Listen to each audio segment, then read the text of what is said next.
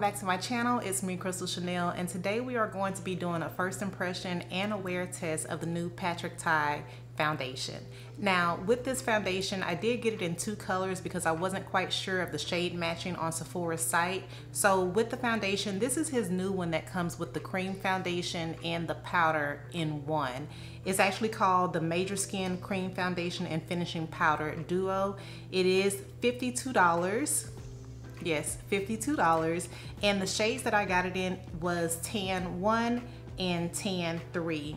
Now with this particular foundation, if I'm looking at Sephora's um, website here, let's take a look. It is 32 ounces of cream and 14 ounces of powder. It claims to be blendable, has a satin finish, and medium coverage.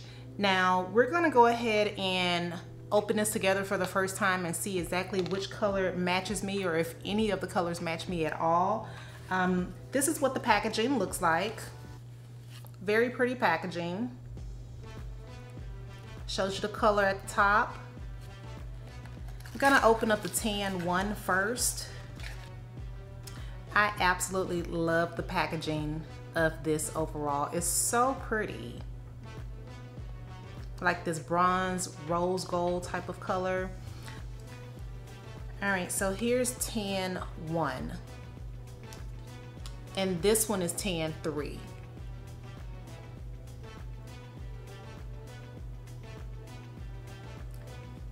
All right, so I am going to go ahead and swatch tan one.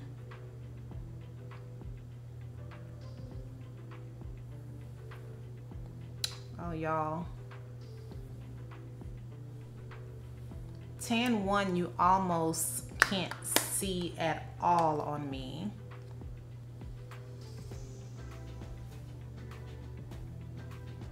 Can you see that? This is tan 1 and this is tan 3. I think that I am going to go with tan 3 we'll go with tan 3 and we'll see how that how that works out. All right, so with the foundation, I also went ahead and got the foundation brush that comes with it as well. So we're gonna try out this foundation brush. This is the Four Face 2 brush. It is double-ended, so it comes with the foundation brush as well as the second side comes equipped for the powder. Here's what it looks like. Quite small. This is for your face foundation and this is for the powder. So we're going to, not very dense at all. Um, so we're gonna try it and see how this all works. Again, I'm gonna go with the tan 3. I'm gonna go ahead and use my Danessa Myricks translucent balm as my primer that has been working for me like really well so I'm gonna stick with it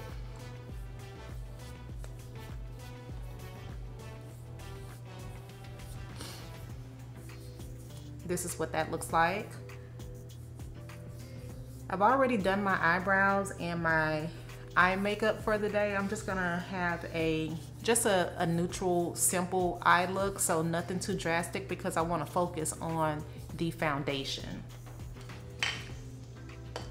All right, so I'm gonna try and bring y'all in a little closer so that we can actually take a look at this foundation. So I'm gonna take the brush and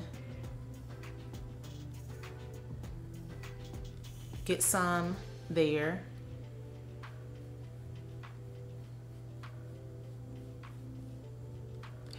Okay, so right off of the bat, the foundation feels really good going on. It feels very light.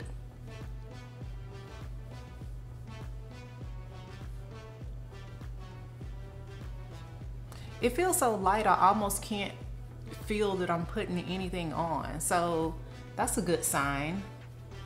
And it is very blendable. It's blending very well with this brush.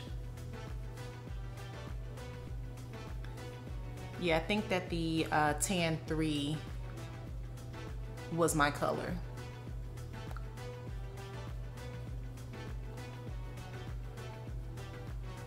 I like to go a little bit darker because I do go a little bit lighter under my eyes. Y'all, this is really pretty.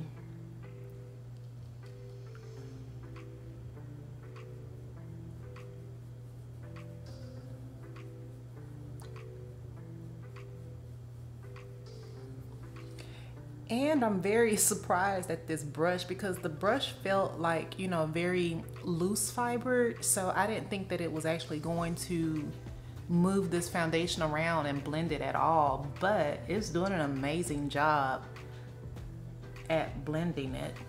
I would definitely say to get the brush with this too.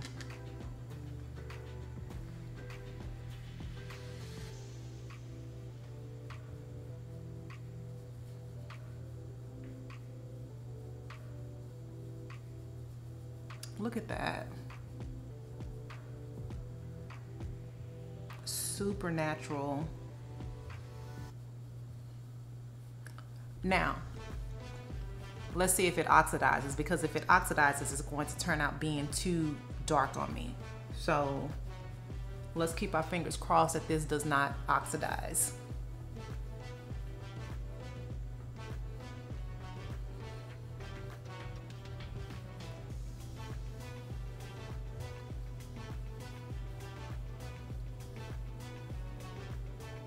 So pretty.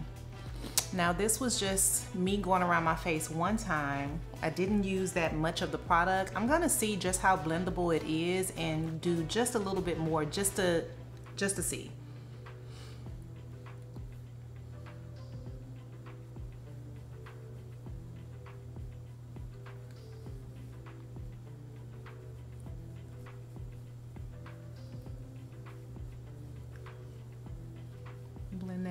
Our neck.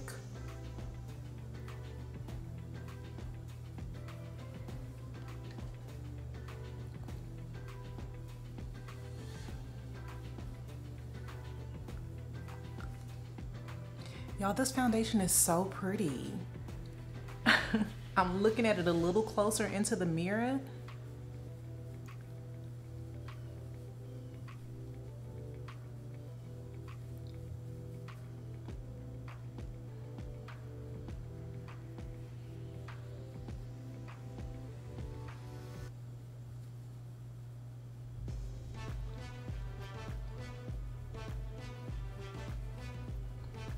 so we're gonna stop there.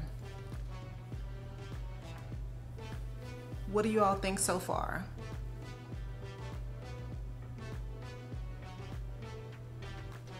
Looks pretty. Okay, I'm gonna set it, the makeup with the powder. I think that's what you're supposed to do.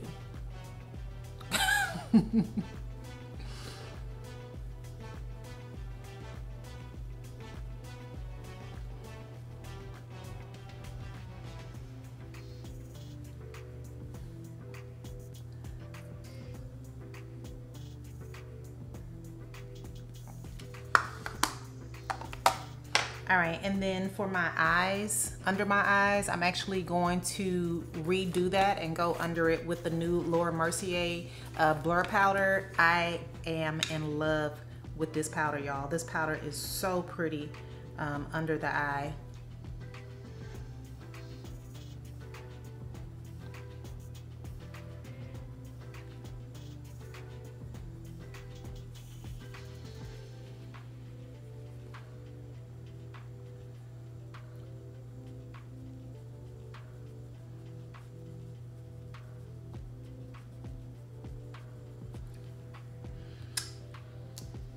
And today, since I've already set this makeup with the powder, I'm gonna go in with a powder bronzer. I'm gonna be using my uh, Mario bronzer in dark.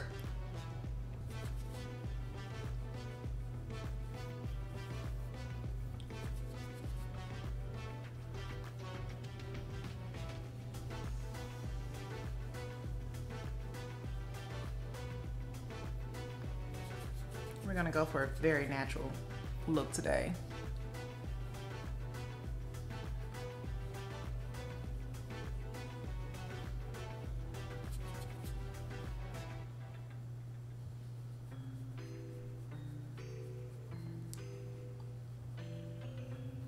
I am also going to go in with a little bit of my MAC Raisin blush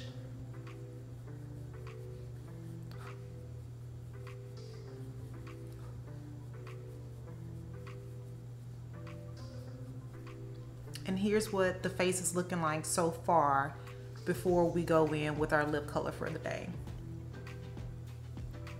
What do we think? The finish is very pretty. Um, again, the powder, I tried it under my eye, didn't like it under my eye, so I went in as a full-on setting powder with it. And then I uh, did a bronzer powder as well and a blush. So very natural looking. I am going to go ahead and put on a lipstick just to give me a pop of color for the day because I do have on some navy blue.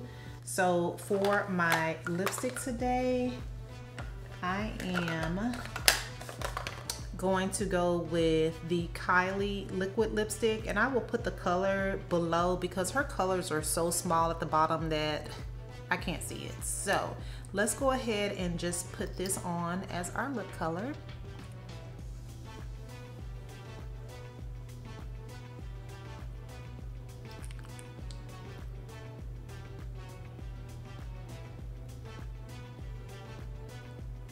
Now this is not the matte lip. This is the her cream lip gloss.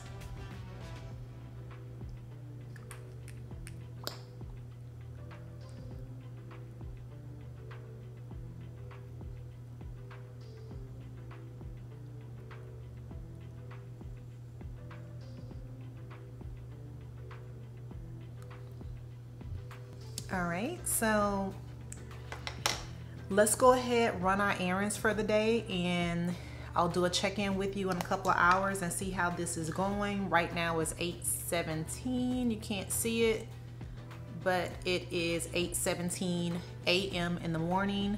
We're gonna see how this looks at the end of the day. And I am also going to go ahead and set my um, makeup with finishing spray off camera and do my mascara and we will be back. Stay tuned. Okay, so here's the makeup in natural lighting. I'm standing in front of a window right now. And what do you guys think? I think that it looks really pretty. It has a beautiful finish, uh, satin finish as it states. And as I was mentioning earlier, the blendability with that brush made the application of this makeup so easy. So this is looking really good. Uh, let me bring you a little bit closer. Looks very pretty. So again, I'm gonna go ahead, it's kind of rainy out. I'm going to see how this holds up in humidity and let's keep our fingers crossed that this makeup does not get too oily and it does not start to melt off my face because I'm not a huge fan of cream foundations, but I have very high hopes. So let's go ahead and run those errands. All right, guys, so we are back. We are at the six hour wear mark of this foundation, and I stepped outside just to show you a little bit of what it looks like. I have not blotted all day, and I have not touched up anything, so this is naturally what has happened with this foundation. Um, oils have definitely set in, but they're not terrible. Uh, it looks very natural still. I have a little bit of a dewy look, but I'm not oily. So what do you all think so far? I mean, I think that it looks really good still. Uh, for six hours by now, I would be blotting a lot. But again, I did use that Danessa Myricks Translucent Balm as my primer and that definitely works wonders for me. So what are we thinking? We're at the six hour mark. All right, so guys, we are in for our nine hour check-in time. It has been nine hours since I've had this makeup on. And as you see, it is, it's time for it to come off. Um, it doesn't look bad, but um, it's definitely getting a little bit oily and, you know, my nose area, my forehead, as you can see there. Um, and I haven't changed my lipstick all day either. So my lipstick has been going pretty strong. But the makeup overall is not really breaking up too much, but it's definitely showing tall tales that it's time for it to come off. So we wore this for nine hours today. I uh, hope you enjoyed the couple of check-ins that I gave you in the application. Please make sure that you like this video, hit the subscribe button, and I will see you all next time. Bye.